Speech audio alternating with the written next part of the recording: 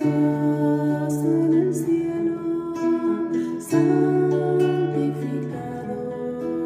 Sea tu nombre.